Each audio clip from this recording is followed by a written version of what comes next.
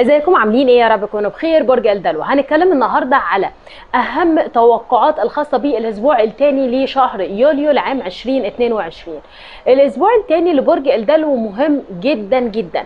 مهم ببعض التحذيرات ومهم كمان لتوقعات لأن عندنا أيام هتبقى ضاغطة نوعا ما وفي أيام هتبقى رائعة جدا جدا.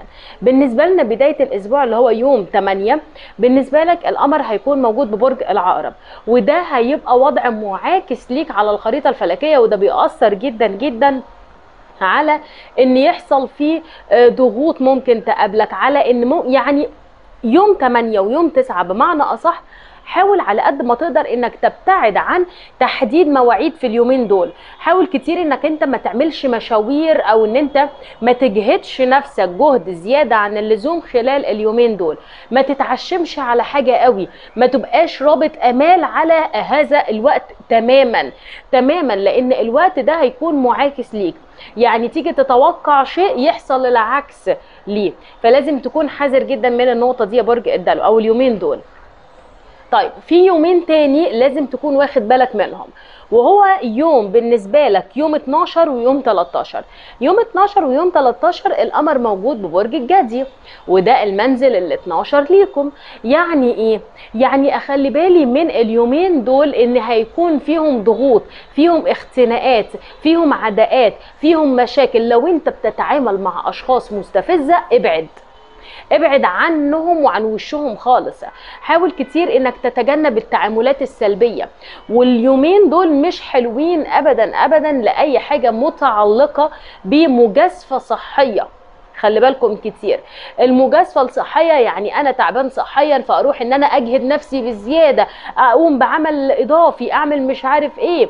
كل الحاجات دي هتبقى مرهقة جدا لأصحاب برج الدلو. النقطة كمان اللي بعد كده يا برج الدلو إن لو أنت داخل في انتقادية أو مساءلات لا لازم أكون حذر جدا. يومين برضو مش ألطف حاجة. طيب خلينا نتكلم. باقي الأيام طبعا لطيفة بس ألطفهم إيه؟ ألطفهم يوم 14 ويوم 15 القمر هيجي عندك. القمر هيبقى عندك يا برج الدلو وده بيأثر كتير على إيجابيات وعلى تعويض. يعني اليومين دول حلوين قوي. إن أنا أتخذ فيهم مشاوير مواعيد لقاءات اجتماعات كل ده حلو بالنسبة لك جدا.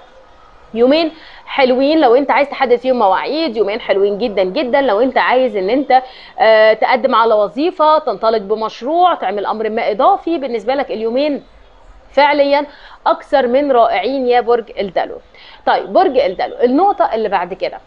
إحنا اتكلمنا على الأيام الضاغطه والأيام والأيام الإيجابية. لكن خلينا دلوقتي نتكلم أكتر على الوضع المهني العاطفي الخ طبعا الوضع المهني كوكب عطارد حاليا موجود ببرج السرطان وده بالنسبة لك المنزل السادس. انت هيكون عندك كتير من محاولات تصليح أخطاء في الشأن المهني يعني عندك بتحاول تعوض وقت بتحاول تعوض خسارة بتحاول تعوض اسم بتحاول إن انت تكتسب مكانة معينة. ممكن تكون بتسعى إلى ترقية بتسعى إلى مكسب إضافي إلى عمل إضافي إلى مشروع مهم إلى شراكة مهنية أو تجديد لأمر مهني. اذا عندك اهتمام قوي بالأمور المهنية. عندك اهتمام قوي ب إن أنت يا برج الدلو ال- في اهتمام قوي جدا بالشأن المهني. بتحاول كتير إن أنت تعوض نفسك. يمكن يكون عندك شغل أكتر بتحاول تشتغل أكتر بتحاول تعمل اسم أكبر بتحاول إن أنت في اجتهاد. يعني الوضع المهني فيه اجتهاد حلو جدا. حتى كمان على المستوى الدراسي الناس اللي بتدرس لسه أو في فترة امتحانات ربنا يكون في عون أي حد بيمتحن دلوقتي. فهتلاقي نفسك انك انت بتلاحق الزمن. عايز تخلص عايز تنجز عايز آه، ضيعت وقت ضيعت مجهود ضيعت مش عارفة إيه. لا احاول اني أنا اجدد اصلح احسن. فده أكتر حاجة برج الدلو بيسعى إليها بشكل كتير قوي. المرحلة التعويضية مرحلة تصليح أخطاء مرحلة بناء النفس مرة تانية. إعادة تقييم الذات جدا إن هو عايز يعمل اسم لنفسه بشكل كتير قوي أو شأن مهني. يعني يبقى حاجة مهنيه متميزة. ترقية كمنصب الخ يعني. الوضع المالي. الأمور المالية بالنسبة لكم أنتوا بتعوضوا خسارة مالية.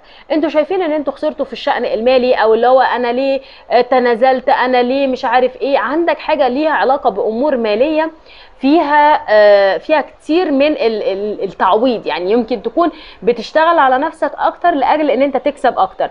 النقطة الثانية ممكن يكون عندك أصلا مشروع أنت شغال عليه وبتصرف عليه أصلا.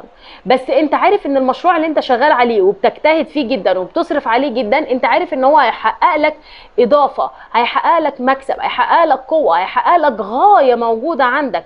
فبالنسبة لك النقطة دي موجودة وبصورة عالية جدا يا برج الدلو فاذا في تعويض في الأمور المالية في تعويض خسارة وفي أيضا مصاريف بس مصاريف المتعلقة بدراسة كل قرش بيطلع. يعني أنت عارف الفلوس اللي بتطلع دي بتطلع عليه وهدفها إيه بعد كده وإن هي هتقدر تحقق لك مكسب إضافي فيما بعد. طيب وطبعا في مشتريات هتلاقيها كتير خلال الأسبوع التاني. متعلقة بتجديد حاجة بتجهيز لحاجة ممكن يكون تجهيز لفرح تجهيز لمناسبة تجهيز لأمر ما تحضير لحاجة ففي ده جدا في أمر تحضير عندك. بالنسبة بقى للمشاعر والعاطفة والحب كوكب الزهرة موجود بالنسبة لك ببرج الجوزاء وده بيأثر كتير طبعا على إيجابيات وتميزات في الشأن العاطفي جدا لأن هيكون في كتير من محاولات الاهتمام بالحبيب. الحبيب يهتم بيك جدا. في مشاعر حلوة بتنشأ علاقات طيبة بتنشأ. بالنسبة لك عندك العديد والعديد من البدايات العاطفية. أقدر أقول إن أنت عندك في خطوبة جديدة زواج آه، في اتفاقات للناس اللي مش مرتبطين في اتفاقات في بدايات عاطفية في نشأة عاطفية قد تحدث في جو عاطفي قد إيه هيكون إيجابي لأصحاب برج الدلو جدا. فاذا في عندنا بدايات. الن- الناس اللي هم بقى متجوزين إحنا بالنسبة للناس المتجوزين أو الناس المرتبطين هيكون عندك في توطيد في العلاقات العاطفية. في حالة حب بتجمعك أكتر بالحبيب في حالة ود أكتر في تقارب أكتر. أقدر أقول لك كمان إن في بعض الأبراج اللي هيكون عندكم كتير مشاعر لبعض كتير إن أنتوا بتقربوا لبعض كتير إن إحنا عايزين نصلح علاقتنا ببعض أو نعمل علاقة وطيده مع بعضينا أكتر. بالنسبة لبرج الدلو أنت مع الأبراج الهوائية هو الجوزاء رقم واحد وبعد كده الميزان والدلو زيك. بس الجوزاء أكتركم. أكترهم. بالنسبة للابراج المائية برج العقرب في تحسن هايل جدا لأنه هيبقى تحسن واضح. التحسن خلال الأسبوع الثاني واضح. رغم رغم إن أنت ممكن تكون عندك في بعض سوء الظن في بعض الأيام بعض الوقت شوية. فده ده هيبقى موجود لكن هتلاقي بعد كده أو هتكتشف إن أنت عندك في دعم حلو قوي من الحبيب ليك. بالنسبة للأبراج الترابية هتلاقوا كتير برج العذراء فارق معاكم وفي تغيير واضح. بالنسبة للأبراج النارية برج الحمل رقم واحد. فدول أكتر الأبراج اللي هيكون في تحسن ملموس كتير وقوي جدا وواضح في الأسبوع الثاني الأسبوع الثاني عامة هو الوضع العاطفي رائع جدا. يمكن تكون المعاكسات شوية أو إن الوقت اللي مش مناسب لاتفاقات لتصليح علاقات لأخذ خطوات جديدة مع الحبيب بالنسبة لك يوم 8 9 12 13 الأربع أيام دول مش هيبقوا إضافة ليك بالعكس ممكن يبقى فيها يعني يبقى فيها خطوات عدائية شوية فيها حاجة مش هتعجبك شوية. تمام؟ وعلى فكرة يوم 2 3 12 13 الأيام يوم 8 9 12 13 الأيام دي حاول على قد ما تقدر أصلا أنت ما تدخلش في أي حاجة جديدة سواء عاطفية مهنية الخ يعني.